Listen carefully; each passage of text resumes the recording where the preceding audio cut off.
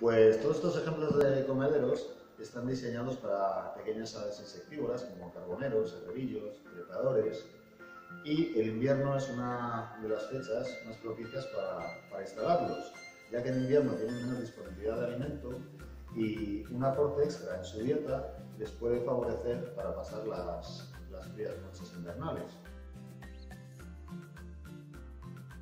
Bueno, ¿y qué alimentos hemos utilizado para rellenar nuestros comederos?